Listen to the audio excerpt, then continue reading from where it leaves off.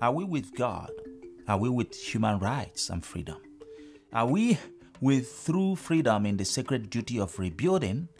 Or are we tearing down and causing more hate, division, and exploitation?